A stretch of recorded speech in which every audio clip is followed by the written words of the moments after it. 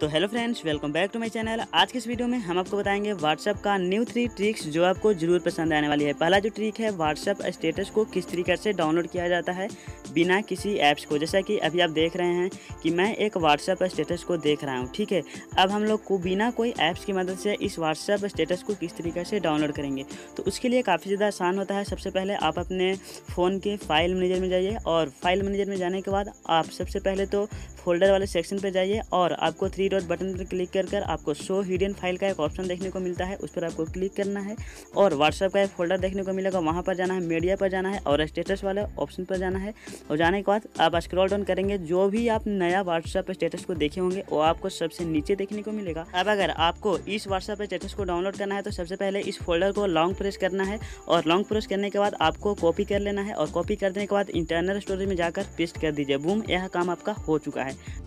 तो दूसरे नंबर पर जो ट्रिक है, यह काफ़ी ज़्यादा औसम ट्रिक है, क्योंकि इस ट्रिक को अप्लाई करने के बाद आपसे आपके दोस्त ज़रूर पूछेंगे कि, अरे यार, यह तुमने कैसे किया? क्योंकि इस ट्रिक में आप देख सकते हैं कि मैं एक कीवर्ड लिखा और कीवर्ड को मैं यहाँ पर सेंड किया तो आप देख सकते हैं कि यह टैक्स जो है फैंसी डिज़ाइन में यहाँ पर सेंड हो रही है, ठीक है? तो यह काफ़ी अच्छी ट्रिक है और यहाँ पर आपको ढेर सारे डिज़ाइनिंग फ्रंट भी मिलते हैं। जैसे कि इसको अगर आप भी अपने फ़ोन में लगाना चाहते हैं तो इस ट्रिक को अप्लाई करने के लिए आपको एक एप्लीकेशन डाउनलोड करना होगा। एप्लीकेशन डाउनलोड करने के लिए गूगल प्ले स्टोर में आपको सर्च करना है Bobble Indic keyboard sticker and the front ठीक है? इस एप्लीकेशन को डाउनलोड करने के बाद आपको कुछ परमिशन देना होता है, जो सारे एप्लीकेशन में बेसिक परमिशन होता है, वो सारे परमिशन को देना होता है, ठीक है? तो मैं इस एप्लीकेशन का सारा परमिशन दे चुका हूँ। चलिए फटाफट इस एप्लीकेशन को पूरा रिव्यू करता हूँ क्या क्या चीज़ में आपको परमिशन देना होता है, किस तरीके से यह एप्लीकेशन वर्क करता है, ठीक है?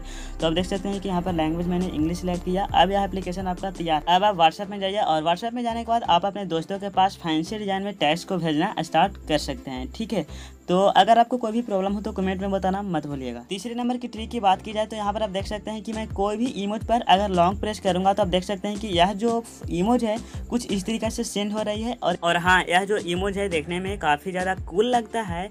यदि आप भी अपने दोस्तों के पास इस तरीका का इमेज को सेंड करना चाहते हैं तो इसके लिए मैं जो आपको दूसरा ट्रिक बताया था और जो एप्लीकेशन डाउनलोड करवाया था, वही एप्लीकेशन पर यह ट्रिक जो है रन करती है, ठीक है? तो मैं आपको बता दूँ कि जब इस कीबोर्ड को आप डाउनलोड कर रहे थे और यूज़ कर रहे थे तो आपको जो इमोज जो दिखाई दे रहा था, उस इमोज पर आप जैसे ही लॉन्ग प्रेस करेंगे तो इस तरीका का इमोज जिसके पास भी आप भेजना चाहते हैं, वह ऑटोमेटिकली चला जाएगा। तो यह वीडियो आपको कैसी लगी कमेंट में बताना मत भूलिएगा। अगर आप मेरे चैनल पर पहली बार आए थे तो चैनल को सब्सक्राइब भी ज़रूर कीजिएगा। अगर वीडियो अच्छी लगी होगी तो लाइक भी ज़रूर कीजिए